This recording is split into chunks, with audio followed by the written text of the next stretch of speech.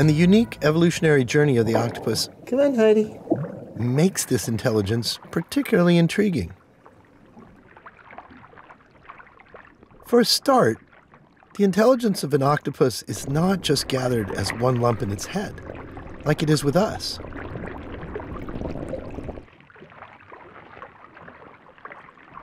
Parts of the octopus intelligence are distributed in its arms.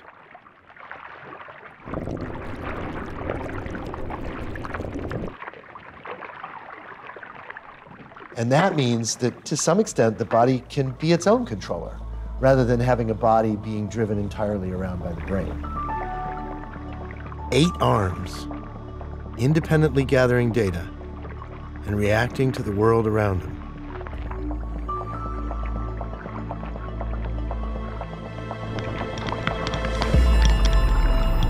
All kinds of intelligence require feedback.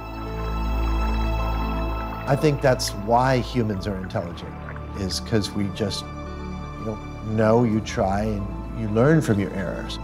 So trial and error is really the intelligent thing. And octopuses make trial and error do more than you might expect.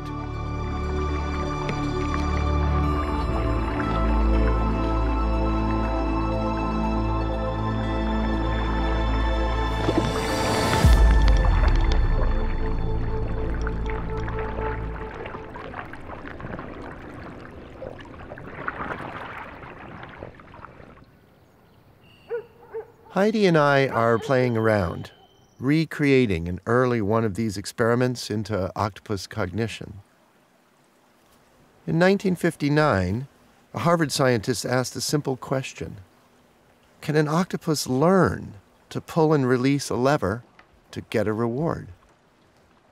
That experiment was successful, and so I thought, wouldn't it be fun to play with whether Heidi would be interested in manipulating something outside of her tank?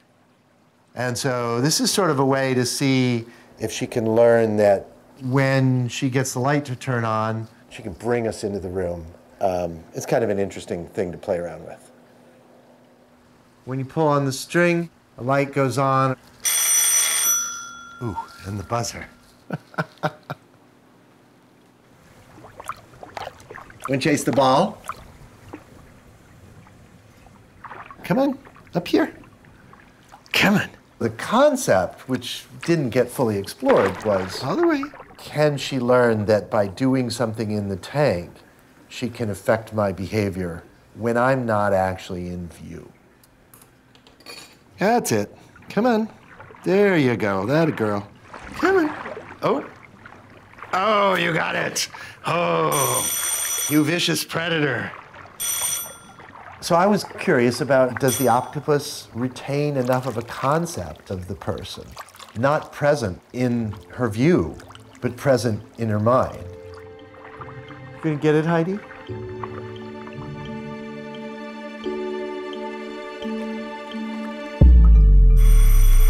It's on. Well, hi. Oh, you did it. Well done.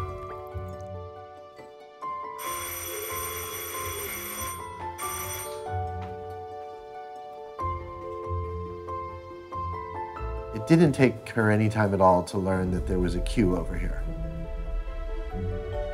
You want some shrimp?